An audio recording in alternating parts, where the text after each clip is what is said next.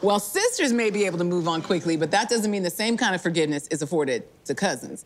I would now like to welcome Taylor, Noah, and Candace to the couch. Oh no. Hello, welcome in.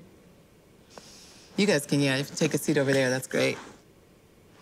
Hello, Candace. Hello, Hello. Noah. Hi, Taylor. Welcome, welcome. Nice to have you guys here. Tyra, Tiarra, and Taylor grew up more like sisters than cousins. But when Tiarra copied Taylor's idea for a nursery, that's all it took for the sisterly bond to come crashing down. Drama.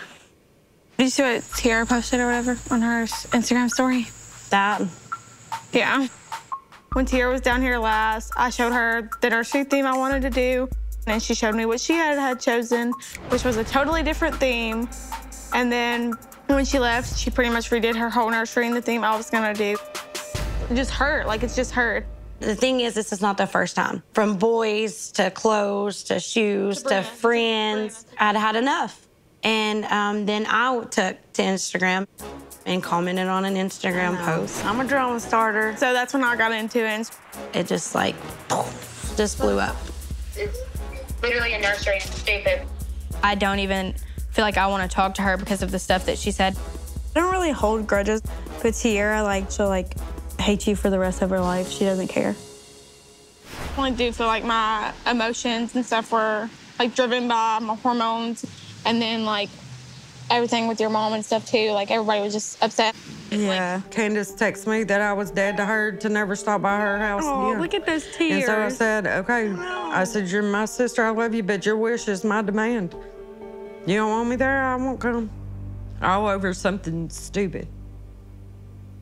Melissa, you are a very emotional person. Why are you crying now? That's old as a year ago. What's making you cry? Just having to see it again? Tears. Yeah.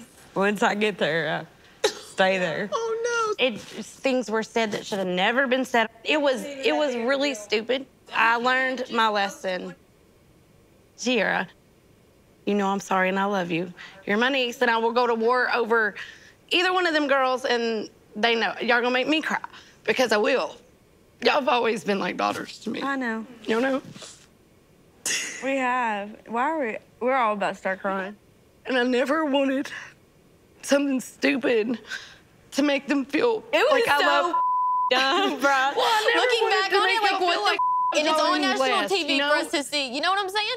Yeah. And it's like for everyone else to judge on. And it's stupid. That's what I said. It was, and it was, but I just didn't want them to think I loved them any less because I never ever did. Like every every memory I have is of, you know, something of Yeah, them.